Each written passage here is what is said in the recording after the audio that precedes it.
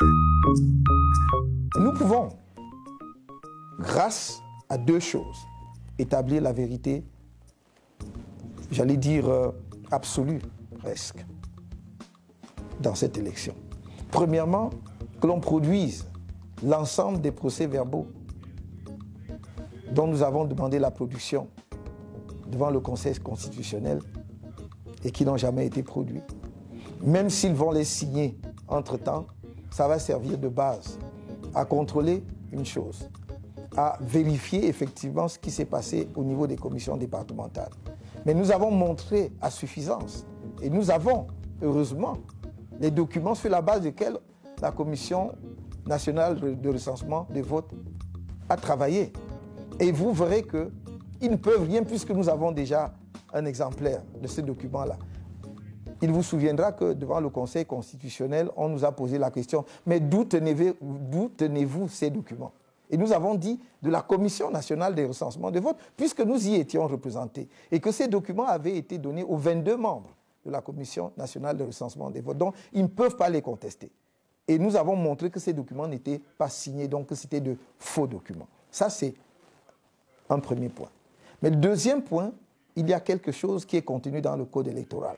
C'est que les procès verbaux des commissions locales des votes sont transmis aux commissions départementales de supervision des votes avec ce que l'on appelle les fiches d'émargement. C'est imparable, c'est comme un mouchard.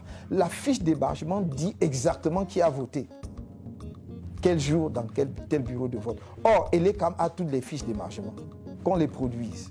Et à ce moment-là, nous pourrions prouver encore, plus encore, de manière absolument euh, incontestable pour qui que ce soit, que les documents sur la base desquels on, produit on proclame les résultats ne reflètent pas ce qui s'est passé dans les bureaux de vote le 7 octobre 2018.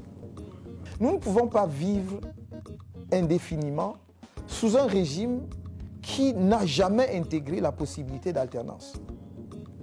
Le véritable problème du Cameroun, c'est que nous avons affaire à un parti politique qui n'a jamais pu se débarrasser de son ADN de parti unique. On ne peut pas, à l'issue d'une élection comme celle-ci, où les Camerounais ont exprimé profondément leur désir de changement, où manifestement ils ont désigné quelqu'un d'autre que le président sortant comme prochain président de la République du Cameroun. Et je crois que cette personne, c'est votre humble serviteur, d'après les chiffres que nous avons, que l'on puisse simplement tourner la page.